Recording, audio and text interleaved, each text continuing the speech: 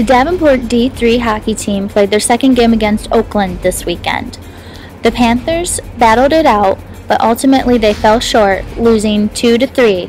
This makes their first loss of the season.